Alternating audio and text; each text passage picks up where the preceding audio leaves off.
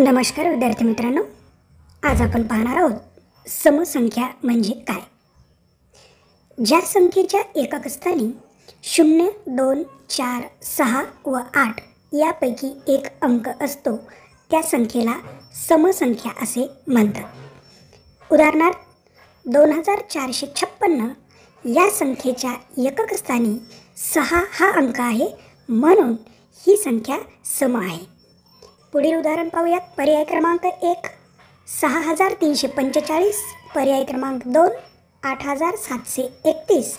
पर्याय क्रमांक तीन नऊ हजार सातशे बेचाळीस. या तीन संख्येपैकी पहिल्या संख्येच्या एककस्थानी पाच दुसऱ्या संख्येच्या एककस्थानी एक व तिसऱ्या संख्येच्या एककस्थानी दोन हा अंक आहे. म्हणून तिसरी संख्या नऊ हजार सातशे बेचाळीस ही समसंख्या आहे. पुढील उदाहरण पहा. शहाण्णव पंचेचाळीस एक्क्याण्णव व पंचवीस या चार संख्यांचं निरीक्षण करा. यामध्ये पहिल्या संख्येच्या एकक स्थानी सहा दुसऱ्या संख्येच्या एकक स्थानी पाच तिसऱ्या संख्येच्या एकक स्थानी एक व चौथ्या संख्येच्या एकक स्थानी पाच हा अंक आहे. म्हणून पहिली संख्या जिच्या एकक स्थानी सहा हा अंक आहे ती संख्या समसंख्या आहे.